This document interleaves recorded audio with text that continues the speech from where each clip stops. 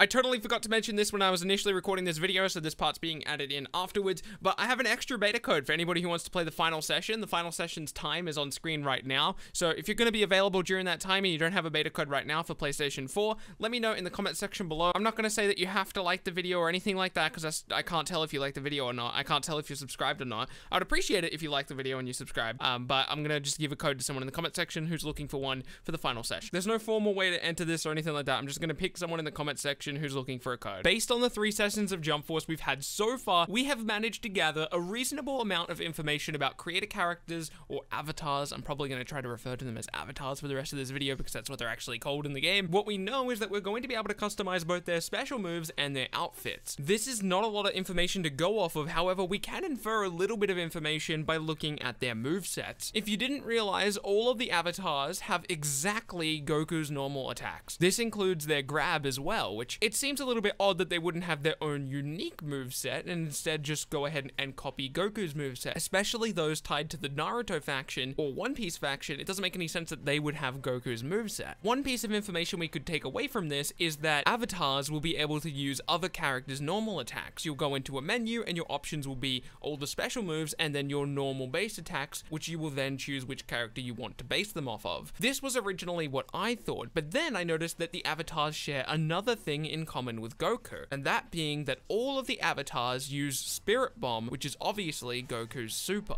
So my current theory is that at launch, the customizable options you'll have for your avatar's moveset are the four special moves, including your super. And based on the super you pick and which character it was defaultly assigned to, you'll have that character's normal attacks, heavy attacks, and of course grab. We don't know if every character's moves will be selectable for create a character, but this current theory of mine seems to suggest that they will. This also leads me to believe that we won't have any additional moves that are exclusive to CACs or avatars or creator characters, whatever you want to call them. For example, if Gaara is not in the game, I don't think you should expect creator characters or avatars to have moves that Gaara would use, even though that would be a really cool reference. I think 100% of the customizable moves that you'll be able to use on your avatar or creator character will already be in the game through other playable characters. One last thing I'll mention is awakenings. Currently, avatars or creator characters do not have an awakening. It's possible that this will change before launch, but I certainly don't think you'll be able to select a custom awakening. For example, I don't think you'll be able to switch to Kyuubi Sage Beast Mode or Super Saiyan. In fact, it wouldn't surprise me if CACs didn't have an awakening at all. Mainly because if we assume that we're right about all of the customization options with their moveset, like what we've talked about so far in this video, then CACs would objectively be the best character in the game because you can have the best of both worlds or the best of multiple worlds, depending on which moves you select. So I don't mind them being limited by not having an awakening, and as far as flavor goes, I don't think we're missing out on much by not having an awakening because it's not like we would be able to go to Super Saiyan or Kyuubi Sage Beast mode, it would just be some type of weird aura effect letting you know that, hey, this guy's in an awakening. I'm seriously excited about Jump Force's avatar and creator character system. I cannot wait to see them reveal more information, but this is currently how I think it's going to work. You're going to open up a menu in the game, you're going to customize them visually based on their appearance, and then you're going to be able to select their special moves. Special 1, Special 2, Special 3, and Special 4. And Special 4 will obviously be the ultimate, and whoever originally had that ultimate, you'll also copy their basic attacks, heavy attacks, and grab. Let me know what you think of my theory so far. My name has been Bilbzy. If you enjoyed this video at all, I really appreciate you subscribing and leaving a like on the video. It really does help me out. I'll see you